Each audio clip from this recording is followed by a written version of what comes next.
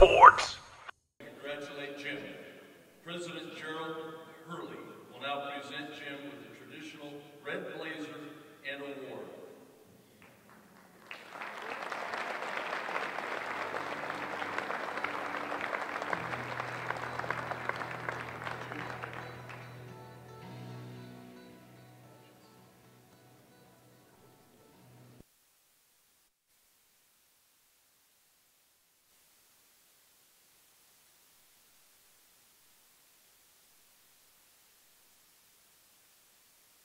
believe I faced him about, I don't know how many years ago. I don't know if he's still here, Reggie Smith. He- came up and introduced himself. I faced him in AAA ball just before he went to the big leagues, and uh, probably the reason he remembers me is because I couldn't get him out. What a great player. I- I'm really, really happy to see you.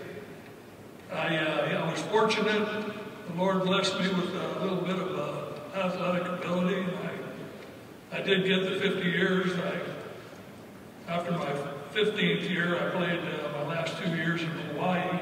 I got a call from Minnesota to coach and uh, lasted 35 years until I was 67, then retired.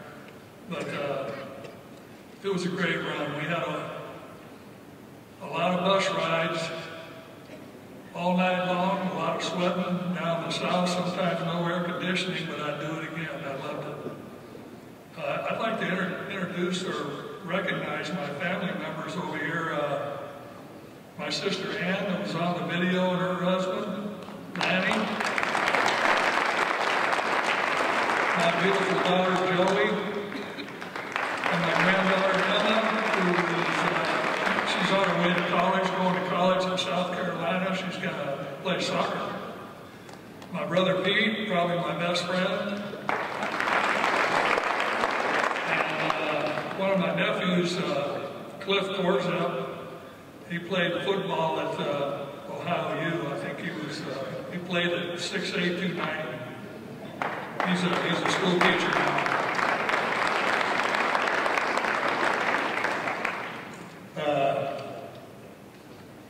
I played for Bob Porter uh, when I was 10 or 11 years old at Little League, and Bob's going to be the last man up here. I wanted to that. Uh, we'd, we'd have practice, and he'd have a couple of watermelons in the back of his truck, and after practice, we'd, we'd eat those watermelons, and we thought that was great.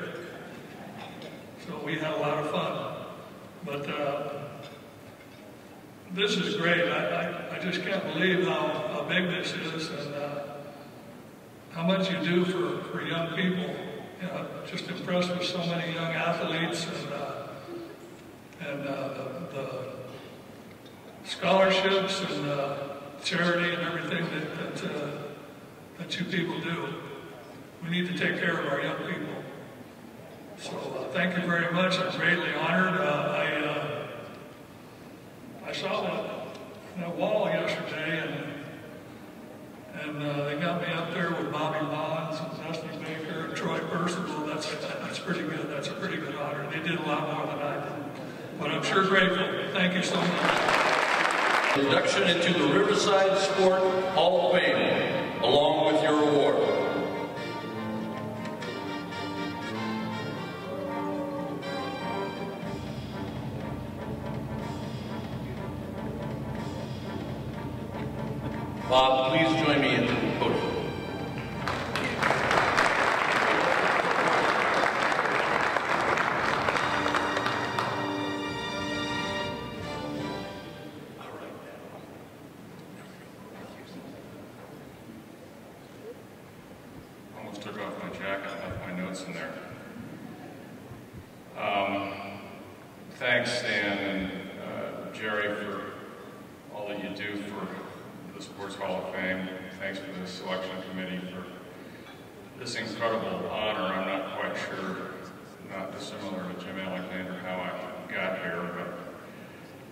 At any rate, um, it's a terrific honor uh, joining an incredible group of people before me.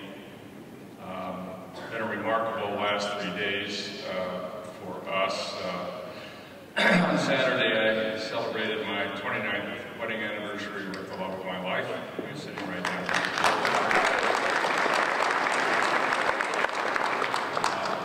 Our family is here as well, so I appreciate them joining us. Um, I'd like to congratulate all of the athletes that received awards, well deserved. There's been some really remarkable talent that we've seen, only on videos, but described to us in the future ceremony, or the former ceremonies. Um, when I first got this, and now I gotta look, this award uh, was Jerry and Nick and Scott in a car. And I called Nick after thinking about it for a minute, and I said, uh, so what am I supposed to do? What am I supposed to say? And he said, well, just go up there and tell the truth and try to throw in a little bit of humor. And I looked at him for a second, and I said, the whole truth? He said, well, maybe not the whole truth.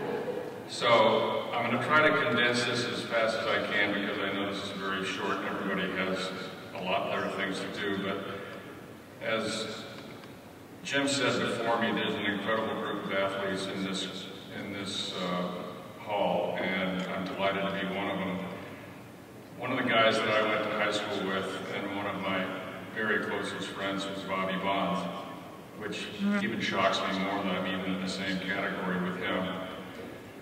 Um, and in high school, I was a, a track athlete, and Bobby was an everything athlete. He was all world in every sport that we had. And I think that's a well-known fact. And when we used to have track meets, Bobby would join or, or enter the 100, the 220, either the long jump or the high jump, wherever we needed points, and then enter the 440 relay. And while that might be not that unusual for a guy like Bobby, and when we were doing it, he was doing those in between innings in his baseball uniform. So he was quite a remarkable guy and a, and a very, very good friend of mine, and I miss him dearly, but also uh, very, very honored to be um, in the same group or in the same set as him. Um, fast forwarding to my athletics, I, as everybody has already heard, I was in track and field in high school because I was too small to play football. I actually went out, um, they had the football teams, the varsity, the JV, the B, and the BB. And the BB was just a little bit bigger than Pop Warner, I went out for that. Um, and I wasn't big enough for that either, so I didn't get to play football in high school. Um, but then I went into the Marine Corps, as, uh, previously said, and I, I actually grew some, quite a bit actually, and put on a lot of weight. Came back to RCC and um, had a very interesting introduction to football, and in the process, had the good fortune uh, to have a coach named Don Barron, who, for whatever reason, after figuring out that I could actually get a uniform on correctly, suggested to his friend Lou Stewick at UCLA that I might be somebody that could play there. So um, I went, I, uh, I went to UCLA, I had a, a, an interesting career there, and then, like all kids, or any kid that ever puts on a helmet, um, the dream is to be in the NFL. And while it was a dream come true for me, it was certainly something that, while I aspired to be there, uh, I knew it wasn't going to last long, so I enjoyed the six years that I did have. Um, all of this, um, for, for the kids uh, and the young people who are listening, is what I call them the heading of timing and lighting. And if you pay attention to the timing and lighting in your life, and you take a look at the things that are going on around you, um, you can usually make something um, potentially out of nothing. And that's kind of what happened with my football career, and then leading into um, very fast forward, I'm trying to condense 50 years into five minutes or less. Um, I did have uh, a very interesting experience when I was playing football at UCLA. We were asked a couple of guys down in the weight room one day if we'd like to be uh, bouncers slash bodyguards for an upcoming artist in music was opening for Leon Russell at the Anaheim Convention Center. And they said it's going to be five bucks an hour. I said, we're in. Don't care who it is, don't care where it is, five bucks an hour, we're in. So we went down to Anaheim Convention Center, and the artist that we were standing next to was uh, Elton John in his first uh, American tour. And in the process, we stood by the stage and we were watching 200 Anaheim police officers shoulder to shoulder across the front of the stage getting pelted with everything that wasn't nailed down because it was during the 68-69 Vietnam War and everybody that wore uniform was not a good person. And I said to one of the duty officers next to me, I said, uh, why don't you go out there and straighten some of those people out? And he said, well, we're not allowed to do that. We're sworn duty officers. And, and I said, well, can we? And he said, sure. So we went out and we gave some of them the message that they needed to get, and they stopped throwing things. And so we went back to school and we said, you know, there's a there's a hole in, in this police force security uh, process, so we thought we might start a little company, and we named it Peace Power.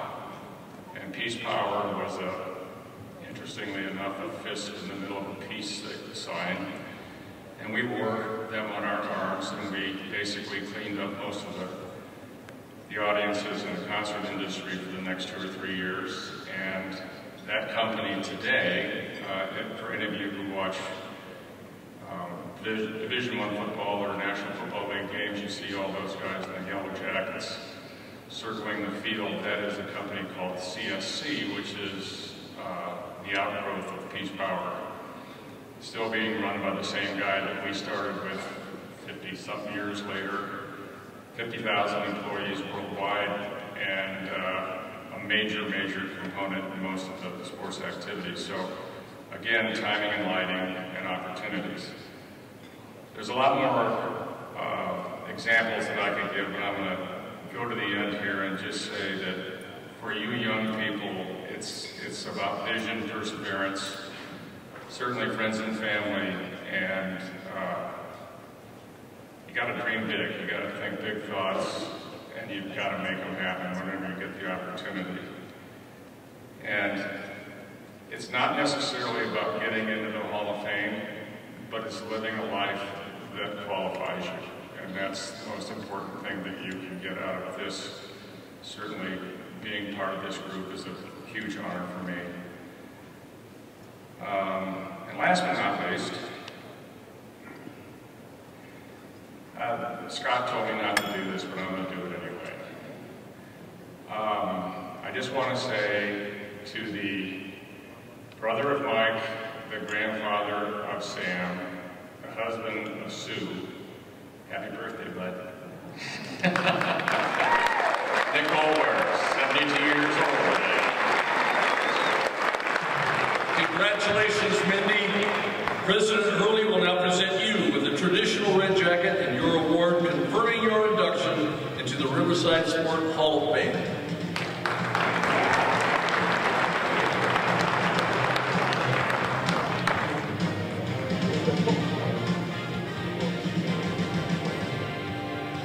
First of all, the motorcycle ride home from high school was one and only.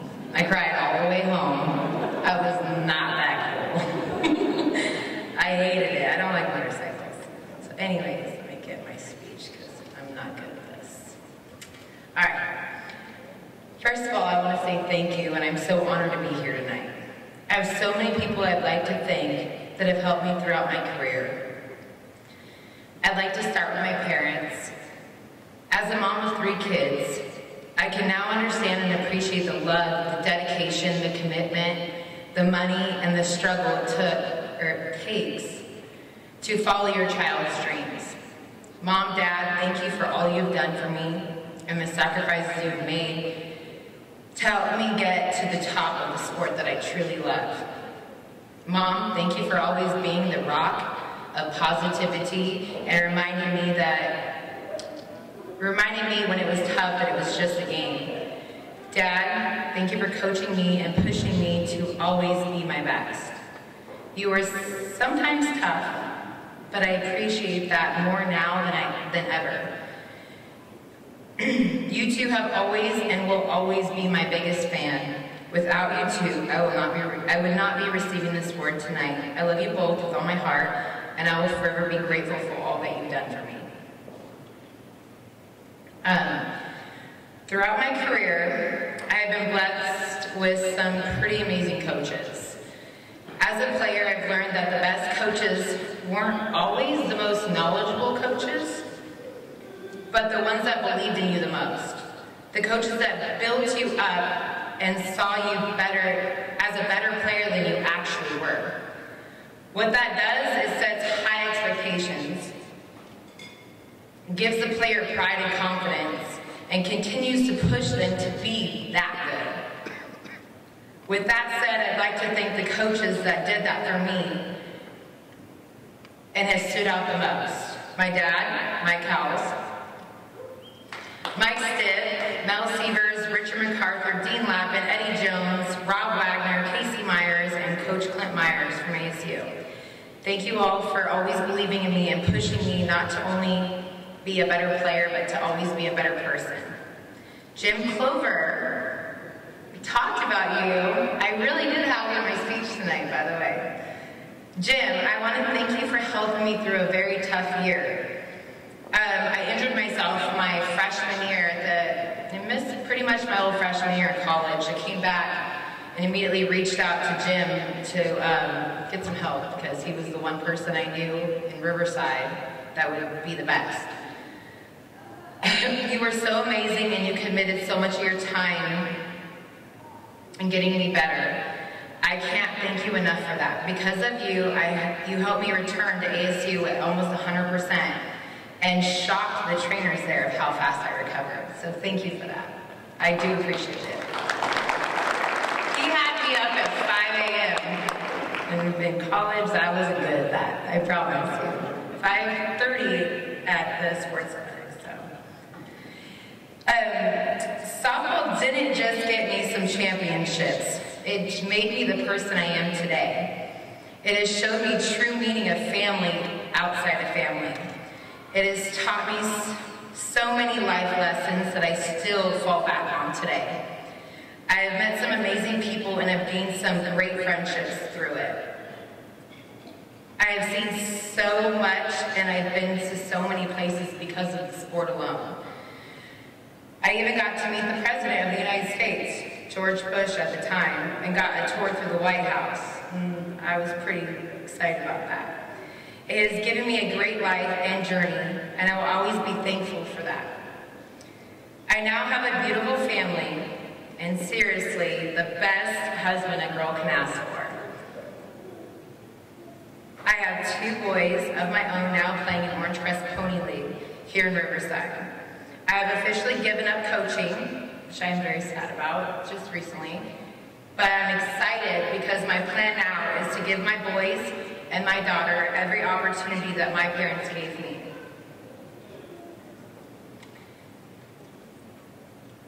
For all the youth athletes out there, I can if I can share a little advice that I wish I knew then, take advantage or take everything you can from any training a person is willing to give you.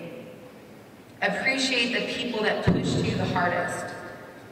Know that a dream comes separate than the work it takes to get there and achieve it. Never compare yourself to others. Just be the best you. And remember to always balance confidence with humility. To everyone that uh, came here tonight to support me, thank you for being here, sharing this special night with me. I truly appreciate it. You mean so much to me. Thank you to the staff and volunteers that made this all happen.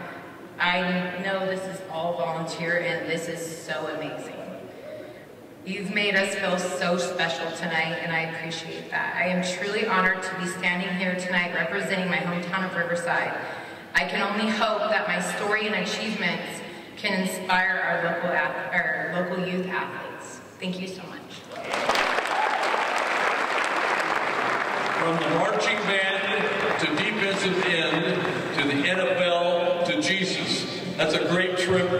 Congratulations, Derrick. President Hurley is presenting you with the traditional red jacket and this unique award, officially inducting you into the Riverside Sport Hall of Fame.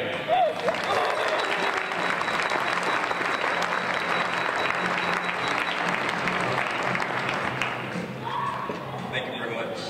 Uh, First of all, I'd like to thank the committee, the selection committee for selecting me.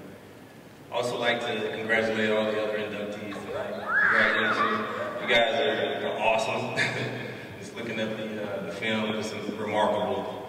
Listening to you, your stories, and your, the road that you've traveled. Uh, I want to thank a couple people. Uh, Most of them are, are here in attendance. I want to thank uh, my son Gavin, my daughter Amaya, and my son Cash for missing school today. Coming down here and supporting that, and of course missing school tomorrow. I guess you threw that in. Uh, you guys remind me all the time of myself, of a time when I was young, and I appreciate you. Thank you for being you. Also like to thank my wife, my uh, locker mate.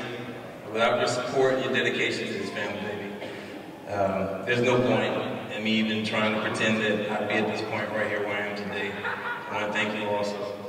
I want to thank my mother, who I was my first coach, who actually gave me permission to to do a little bit more. Uh, my mother uh, ran for conditioning for the most part, and I was curious on what it took to run like that. How you continue to run? So I just asked her, how you do that? How you continue running? She said, I just do it. Okay, simple enough for me. All right. Uh, I joined the track team with that idea, that notion, and thinking that I had the ability to run fast, I was quickly told that I should run long distance. So, okay, coach, you know better than I do. so I ran long distance, and we ran around the track in New Orleans, uh, around the city track long distance. You start on the outside, and then you get on the track and you run inside. When I started running, I had that, that idea that I was just gonna go, and no one's gonna be able to beat me. I'm, you know, I'm just gonna run, and give it everything I got. Of course, when you do that long distance, you quickly realize that air is a necessity. And sometimes it's not just so abundant when you're pushing yourself like that. So uh, at that point, I thought about stopping. And, and then I thought about what she said. She said, I just do it. And I pushed myself and continued to run. The next thing I know, I'm inside the track and I'm passing people. So, you know, I guess my mom knew a little bit about what she was talking about. That's how that goes.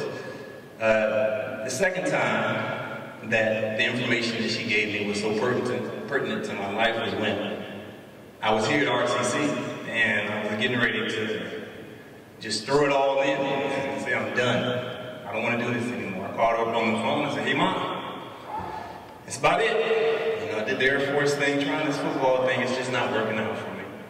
And uh, she gave me a little bit more information and she said, well, why don't you just ask the coach what you need to do? And I'm thinking to myself, well, you don't know what you're talking about, obviously. you don't know much about football, but at the same time, you're like, mom, so I'm gonna try this and see what happens. And coach, I don't know if you remember this, Coach Meyer. I came in your office and I said, uh, what do I need to do? What's going on? What's, you know, he said, well, first of all, you just need to stay low. You know, the guy's pushing you all around outside on the football field. And so after he told me that, I didn't know how to practice that because I wasn't a defensive lineman, I really wanted to help the team out. I just went out on the football field after practice and found the shovels that the use, the offensive line used to, to block to learn how to stay low. And I did it on my own. Stayed out there as long as I could till I was tired, and then I decided to go on in, and that's how I got good at pass rushing. So that was another time when my mom's information went right on time. I'd like to thank also Sergio Gonzalez. I know you didn't know you were going to be in the, the ceremony, but uh, Sergio and I both came in at the same time. Sergio was in the Army. So I looked around, like most people do, and tried to find somebody that looks like me. Hey, there's another old guy. Hey, you. We're going to be friends.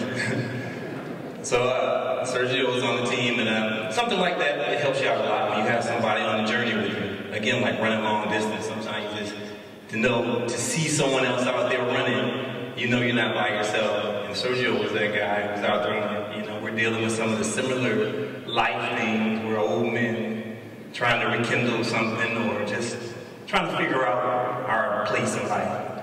So I appreciate you. Thank you, Sergio. Uh, Coach Meyer, Coach Brown, incredible. You guys are my, my first coaching staff, and I don't know if you really understood that it would be so important to the rest of my career. So, um, if you can understand, you know, somebody that's just walking into something for the first time, no, no experience at all, everything is brand new. So my first coaching staff is the uh, are the individuals who actually propelled me to continue and to do anything else that I did after that. So I appreciate you guys. Thank you very much. Also, all you guys here, this is incredible. Honestly, I wish you guys were me, not to sound too vain, but sometimes uh, you really can't put anything into words. So naturally, if you guys are me, you feel what I'm feeling right now. Thank you very much.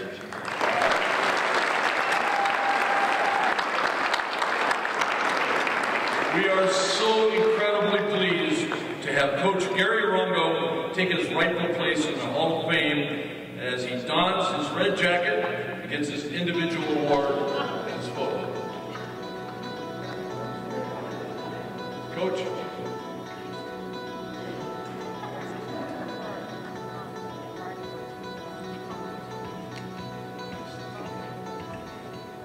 Okay, let's talk about this picture. This is day four four straight days of watching grandkids. So that's why that picture looks like So I know there's a lot of grandparents out there, you know what I'm saying? Day four of a, a weekly gauntlet of watching these individuals.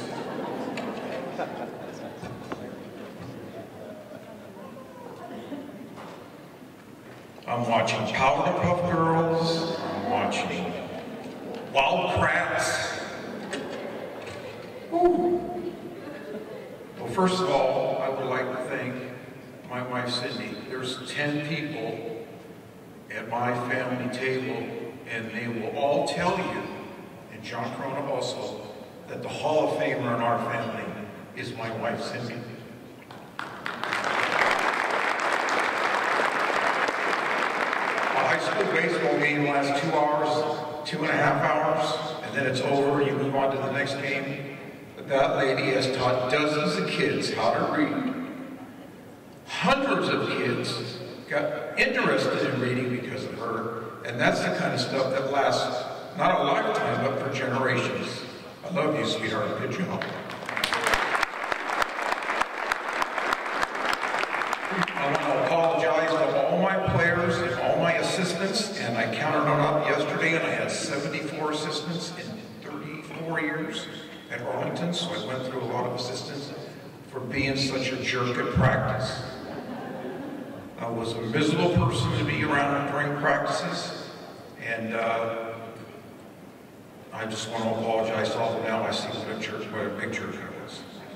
One of the joys of coaching, however, is having kids play for you and then come back. One of the greatest joys of my life is having my son be a bat boy for me, my son play for me, my son play for Jack Smitheran and Doug Smith over at UCR, and then come back and coach with me.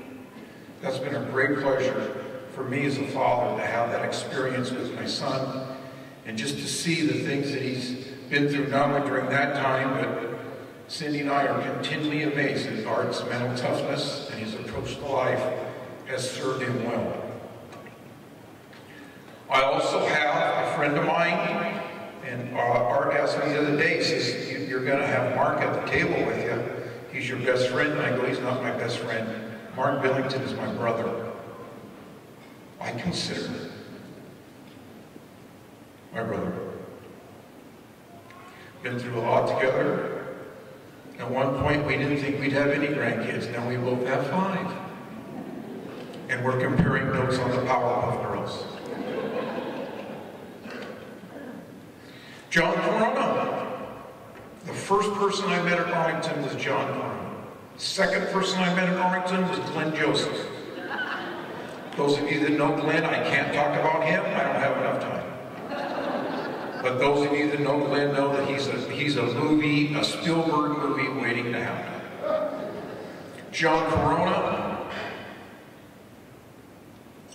probably the most decent person I've ever been around in my entire life. The number one single biggest thing the Riverside Unified, Riverside Unified School District has ever been a part of is the Veterans Program that John Corona puts on in. And I say that, my daughter was a part of a 1994 Arlington mock trial national championship team. But that program that John Corona puts on in the spring is amazing. I would recommend highly that everybody go to that. Because I'm sure John will be somehow in charge of that in the future also. Also, you can't make this stuff up. The first person I met at Arlington was John Corona.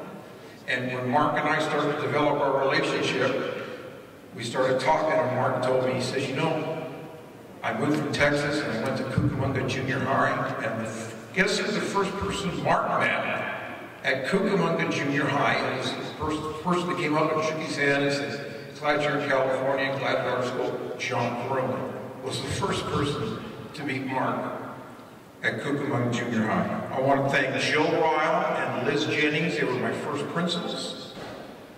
I was over at Poly with Jill Ryle and then lost my job with Proposition 13, and then I got Liz Jennings. Both great principals, completely different, but great bosses.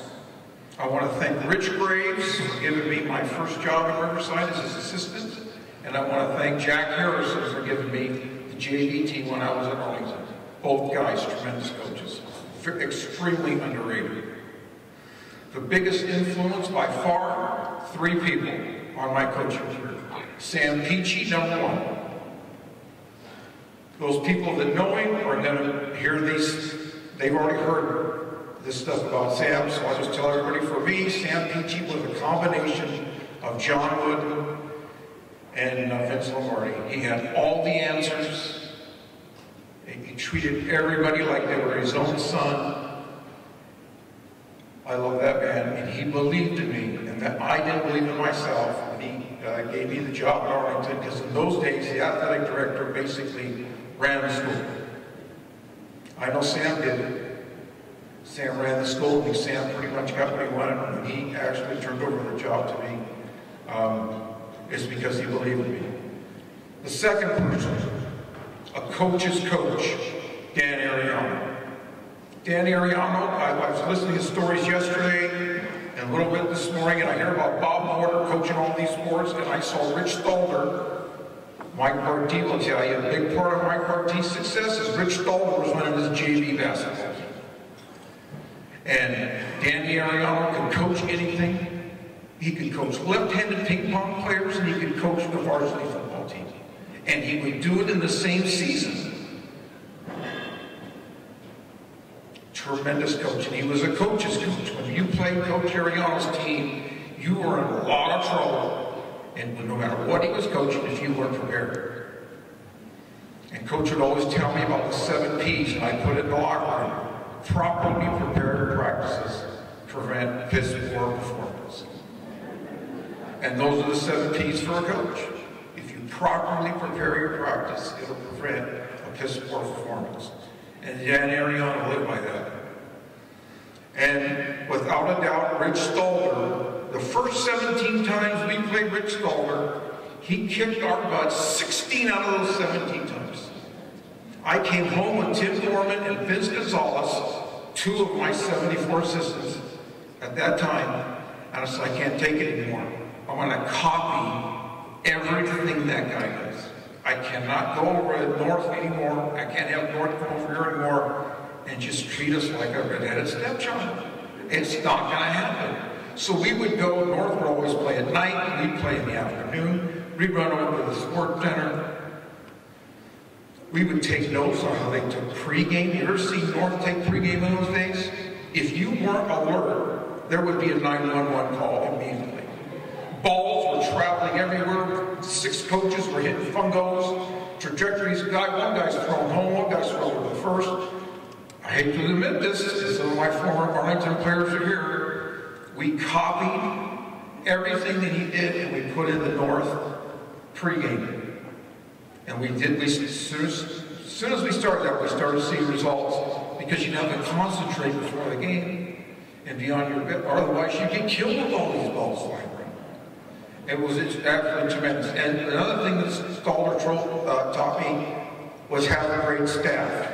And I would be remiss if I didn't tell you that he had Greg Chance as his pitching coach, Ray Saucio as his hitting coach, and Tom Kennedy running his lower level teams.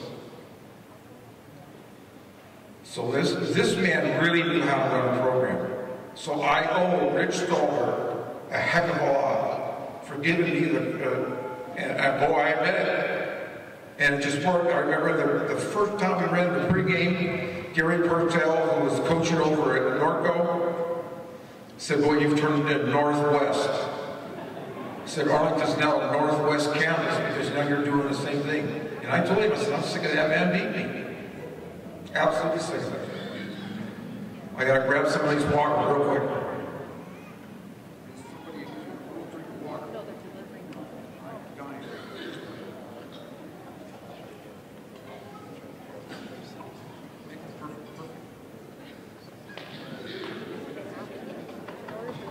Don't count this on, don't count this on my time. I know what Tim Cleveno's gonna do. Tim Cleveno's gonna tell a story about me setting my foot on a, a fire accidentally one time during a pep talk. Don't believe it. After everybody's dismissed, Tim's gonna go on this outrageous lie of a story. Don't believe the story.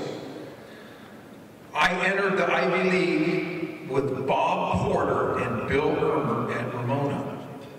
Gary Parcell, Mike Dar, and Don Harris at Norco. Lyle Wilkerson over at Corona. Rich Stalder at North, Rich Graves at Poly, Mike Duckworth at La Sierra, and At Norte Vista. I, I came in as a young whippersnapper. I thought, man, this is going to be sweet. It's going to be easy. And I go against all the... It was a bloodbath for five years. They just tore us up. Every one of those guys. And you know, we've had some good rivalries. I mean, you could you could list it's, it's changed through the years.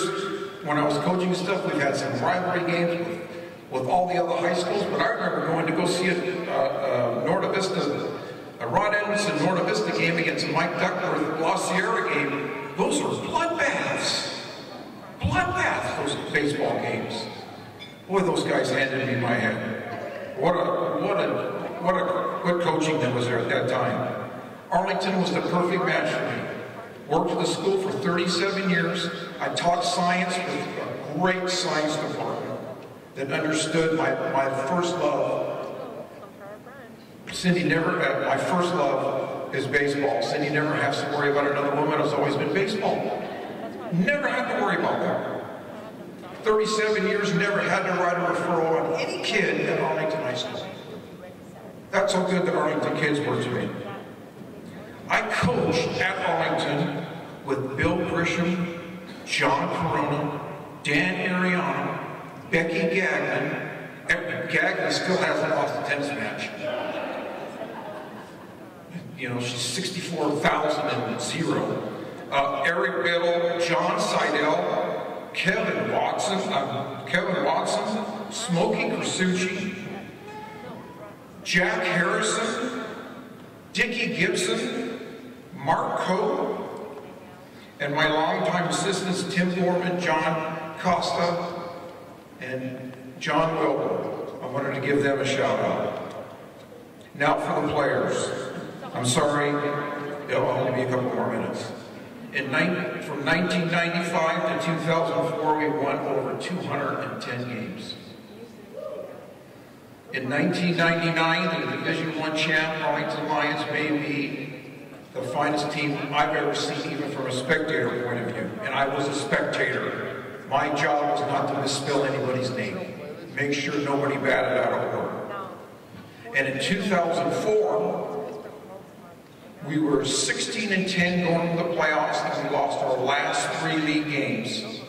And I was ready to, Mark and Art will after every loss, I was ready to give it suicide for a 24-hour period. I was on suicide watch.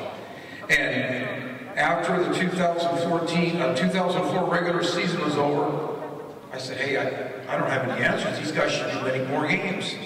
So we decided to turn it over to Art and Steve Madrill, and they turned things around, and they won the Division One championship in 2004. That made me appreciate what 1999 did, because they played that hard and that way from the very first practice. When you have guys like Bill Murphy and Ryan Christensen and Anthony Lanetta, Jason Franz, how many high school teams can say that four guys were drafted in professional baseball from one high school team, and eight guys on the team got the scholarships? That's a pretty good team. And all you have to do is spell the names right. Uh, in 2002, we were fortunate enough to win a, Division III title with Zach Senicola and JoJo Reyes pitching alternating games. Those boys did a great job, so I wanted to give those guys a shout out also. I want to thank you very much. I want to thank the Riverside Hall of Fame Committee for putting on this. It's- It means a lot to me and my family, and it is a very special feeling to be on this, up on that wall. I see guys, I got to talk to Barry Meyer today. I coached uh, spring football with Barry Meyer one year. After, after spring football was over, Barry said, you know, Rundle, I think you might be a pretty good coach. You, when, I ask you to go get me the coffee, you bring back a good cup of coffee. So, you know, everybody's got to start somewhere. You got to start at the bottom and work your way up. Thank you.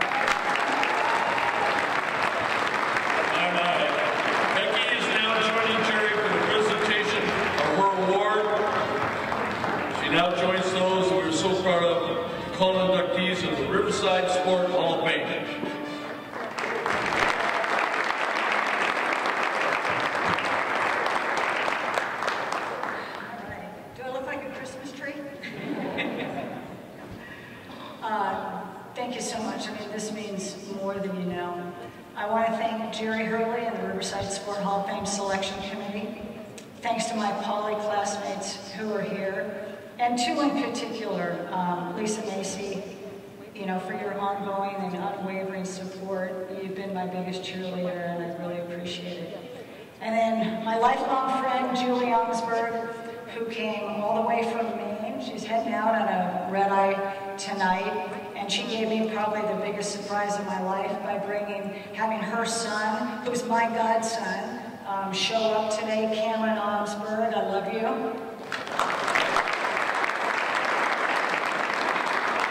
Um, it's kind of neat because he's my godson, and um, my very special guest tonight is actually my godmother, Norma Bradshaw. Um, and Norma, thank you so much for always being there. I love you. I love you. Well, let me start by saying this is so cool because I love Riverside. Uh, yeah.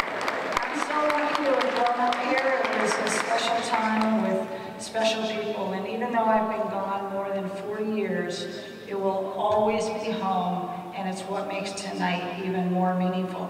In fact, I'm so proud of Riverside that when the Damn Daniel craze hit a few years ago, I was going around bragging about it in Arizona. People would ask, and the meaning of that? I don't know, it doesn't matter. They're from Riverside. They go to Poly. When I think of Riverside, I think of the swim club and campouts, ping pong and apple annies, Mrs. Stringfellow, Uh, in fact, I have a framed picture of one of the swim club teams in my house because it centers me and reminds me where I come from. I think of Alcott and the sixth grade sing, of Gage, and of course Poly. I'm telling you, class of 76, class of 76, brilliant minds, kind souls, and lifetime friendships. And then whoever imagined there would be girls on the boys team, including Julie. One of the highlights was playing the same guy from another team for three straight years. Now let's just say he wasn't very nice the first time we played. But at our last match, he brought me a rose. And at first I thought, oh, that's so sweet. Then I started thinking it was a psychological ploy, and he was trying to get into my head. But it was all good and I still beat him. I've been so fortunate. Riverside taught me values. It gave me my foundation, my roots. Seeds can be planted, but it takes nurturing and the right conditions and environment in order for them to grow. And Riverside provided that, thanks to everyone who was part of those 18 years. UCLA helped me grow into an adult, forced me to test those values, and surrounded me with some of the greatest coaches, athletes, and role models the sports world has ever known. Thanks to Bill Zima and especially my head coach, Gail Godwin, for the opportunity and privilege of being a Bruin. I owe you so much, Gail. Thank you.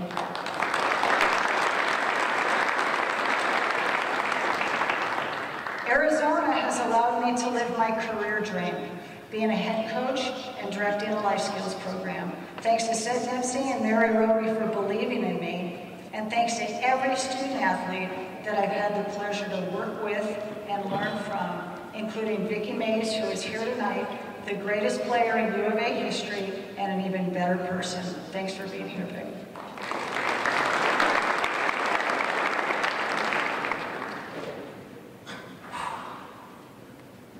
Most of all, I owe everything. Most of all, I owe everything to my family. My mom, dad, and brother Eddie, but particularly my dad.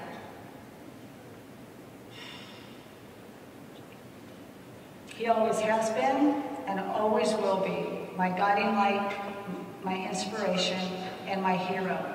The sacrifices he made are immeasurable, and the life lessons he taught, timeless. He told me to work hard and always do my best. I may not have been the biggest, fastest, or strongest, but I always tried my hardest. He taught me to respect others, to do the right thing, to learn something from every experience, to be independent and make my own decisions. I mean, my dad taught me so much, and what I appreciate most is that he did it by example. He's the greatest person I've ever known.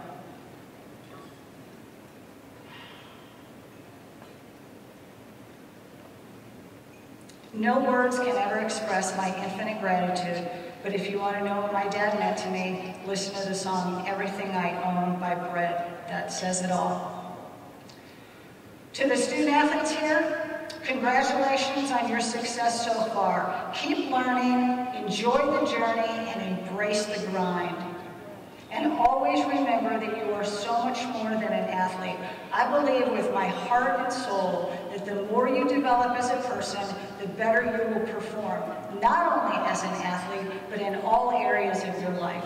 And then most importantly, your identity and self-worth will not be measured by scores, records, times, retweets, or any other external definition of success. You are also leaders. So be leaders of character and lead with integrity, courage, kindness, and an open mind. And lastly, stay true to yourself and never be afraid to take the road less traveled. In closing, this is truly the honor of a lifetime. Jerry called me on a Thursday to tell me that I had been selected and in Arizona on Fridays, you're supposed to wear the colors, meaning red and blue. I wore green and orange to work the next day. someone asked, why are you wearing the colors? And I said, oh, but I am. I dedicate this to my dad, and I share it with all of you. Thank you very much. Very, very quickly, I think those of you who know my dad know that he is very, very humble and he's very, very honored by tonight. And uh, we all love you, Daddy, and we are so proud of you. And we thank Jerry and the Riverside Sport Hall of Fame. And, and um, I think on behalf of my dad, I just say thank you to